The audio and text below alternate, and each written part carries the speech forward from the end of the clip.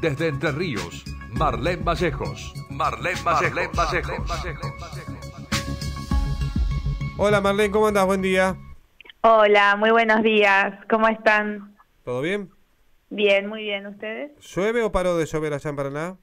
No, ahora hay apenas una llovizna muy suave, pero llovió toda la noche. Sí, Llovió toda la noche. Acá arrancó a las 5 de la tarde acá en Santa Fe.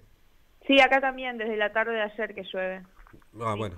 Fue Nunca llovió fuerte igual, pero sí constante. Sí, llovió mucho, ¿eh? Llovió mucho. Eh, Sí. Bueno, Marlene, contanos un poco, ¿qué pasa con eh, la Plaza Bea, eh, con el hipermercado?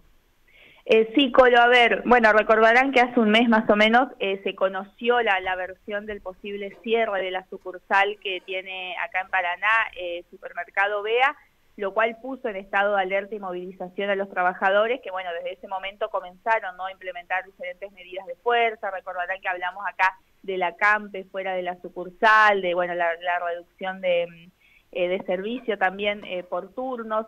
Bueno, en este marco del conflicto que todavía no se resuelve, el pasado viernes hubo una nueva audiencia en la Secretaría de Trabajo de la provincia, en la cual, en primer lugar, se resolvió extender por cinco días hábiles más la conciliación obligatoria que, que estaba rigiendo, es decir, que se extendió hasta este próximo viernes.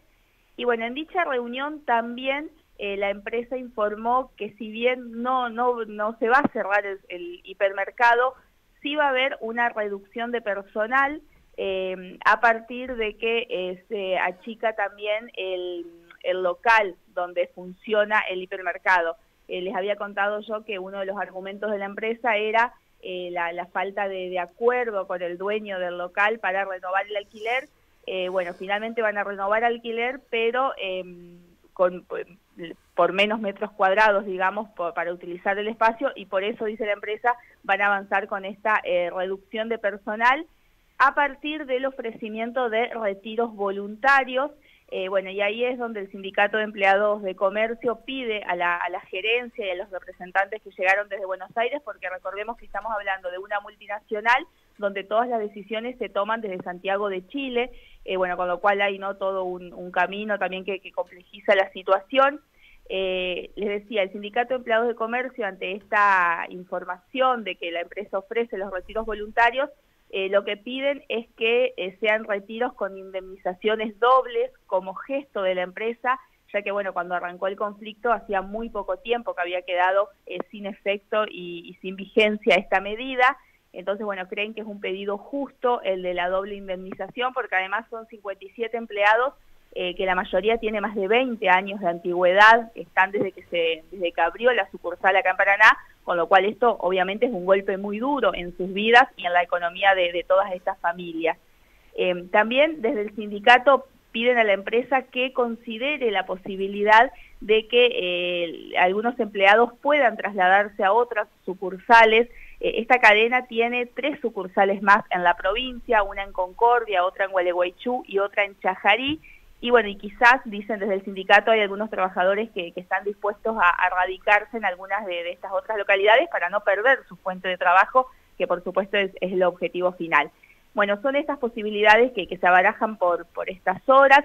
Esta semana los trabajadores van a evaluar estas propuestas de cara a la conciliación eh, del viernes 12 de este viernes, que va a haber nuevamente en la Secretaría de Trabajo, y bueno, donde se van a hacer de manera formal esto, estos planteos y estas posibilidades para, para los trabajadores, para estos 57 trabajadores. Sí, sí, sí, qué tema este, con el supermercado, que no le dan solución y que hay muchas familias pendiendo de eso, ¿no?